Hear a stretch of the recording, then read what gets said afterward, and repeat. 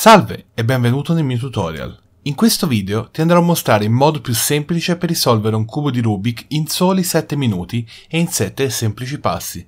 Diamo un'occhiata al nostro cubo di Rubik. Ha i pezzi sul bordo con due colori, quelli agli angoli con tre e quelli al centro con un solo colore su ogni faccia del cubo.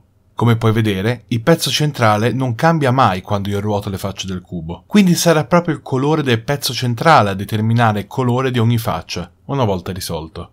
Il cubo ha sei facce e andremo a dar loro come nome le iniziali delle direzioni inglesi, front, back, left, right, up and down, che stanno per fronte, dietro, sinistra, destra, sopra e sotto. R significa una rotazione oraria della faccia di destra.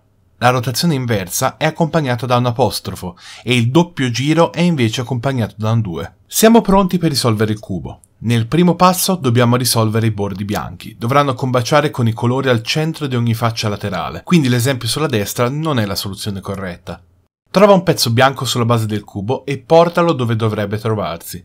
Il pezzo bianco potrebbe essere su un lato o guardare verso il basso. Quando guarda verso il basso, fai semplicemente una doppia rotazione verso l'alto. Quando invece si trova su un lato, devi fare rotazione frontale inversa, rotazione destra inversa, rotazione bassa inversa, rotazione destra, doppia rotazione frontale. Quando non ci sono pezzi bianchi sul bordo della faccia in basso, possiamo portarceli noi. Quando il pezzo si trova nella cornice centrale, tieni il cubo dai bordi nelle posizioni evidenziate e fai rotazione destra invertita, bassa invertita e quindi destra. Sai già come risolverlo quando si trova nella sezione in basso.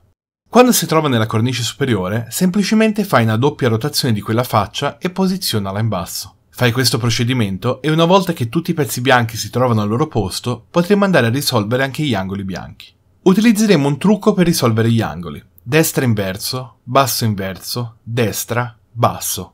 Questo algoritmo scambia i due pezzi evidenziati, cambiando la loro direzione ad ogni passo. Sposta un angolo bianco sotto il punto dove vuoi farlo arrivare e ripeti destra inverso, basso inverso, destra, basso, fino a che il pezzo non si trova nella cornice superiore. Usa le stesse mosse per spostare un angolo da una posizione errata. Allinea il cubo ed esegui il trucco una volta. Ora puoi inserirlo facilmente nella cornice superiore, ripetendo l'algoritmo. Quando la faccia bianca è completa, possiamo capovolgere il cubo. Useremo due algoritmi per risolvere la seconda cornice. Uno di questi sposta i pezzi evidenziati verso sinistra, l'altro verso destra. L'algoritmo sinistro è alto invertito, sinistra invertita, alto, sinistra, alto, fronte, alto invertito e fronte invertito. L'algoritmo destro è invece alto, destra, alto invertito, destra invertito, alto invertito, fronte invertito, alto e fronte. Usa gli stessi algoritmi quando un pezzo si trova nel mezzo della cornice ma non si trova dove dovrebbe essere. Sto utilizzando l'algoritmo destro per spostare un pezzo fuori, così che io possa inserirlo di nuovo nella cornice superiore. Quando tutti i pezzi sono risolti, nella zona centrale dovresti avere ancora una faccia completamente bianca.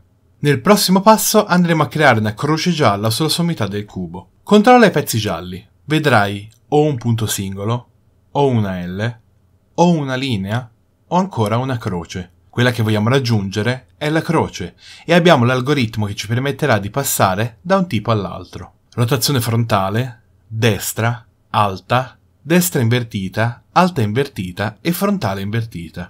Assicurati che la L sia orientata correttamente prima di eseguire queste mosse. Quando i pezzi gialli in alto stanno puntando verso dietro e sinistra, puoi eseguire l'algoritmo.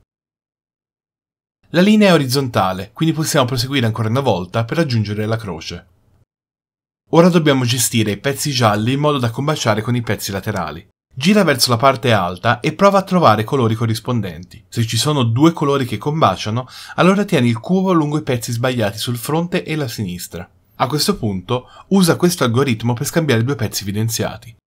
Destra, alto, destra invertito, alto, destra, alto due volte, destra invertito e alto.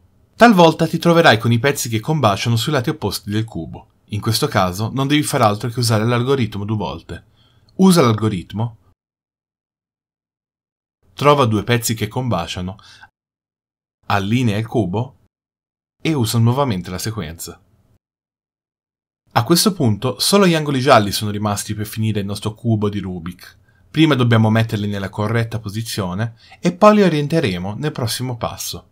Ruotate il cubo e trovate un pezzo che sia dove dovrebbe essere. Tieni il cubo tramite questo pezzo nella sua posizione fronte destra alto e muoviti secondo alto, destro, alto invertito, sinistro invertito, alto, destro invertito, alto invertito, sinistro. Ripeti il processo se i pezzi non arrivano nella loro posizione al primo tentativo. Nel caso non dovesse trovare nessun angolo nella corretta posizione, esegui nuovamente i passi e controlla di nuovo i colori. Devi ricordarti l'algoritmo destra invertito, basso invertito, destra, basso. Ora useremo lo stesso per orientare gli angoli gialli in quest'ultimo passo. Fai attenzione, tieni il cubo con l'angolo giallo sbagliato nella posizione fronte destra alto. Ripeti destra invertito, basso invertito, destra, basso, fino a che i pezzi gialli non guardano verso l'alto. Ruota la faccia superiore per portare un altro angolo giallo disallineato nella posizione fronte destra alto. Esegui le mosse fino a che il pezzo giallo non sta guardando verso l'alto. Gira la cornice superiore per finire il cubo. Ecco un altro esempio quando tutti gli angoli sono sbagliati. Fai le mosse.